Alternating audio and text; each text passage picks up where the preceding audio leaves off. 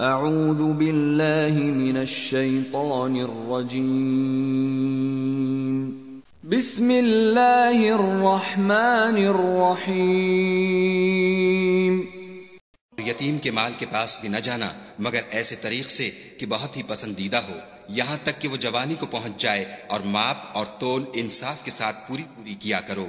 ہم کسی کو تکلیف نہیں دیتے، مگر اس کی طاقت کے مطابق۔ اور جب کسی کی نسبت کوئی بات کہو تو انصاف سے کہو، گو وہ تمہارا رشتہ دار ہی ہو اور خدا کے عہد کو پورا کرو۔ ان باتوں کا خدا تمہیں حکم دیتا ہے تاکہ تم نصیحت قبول کرو۔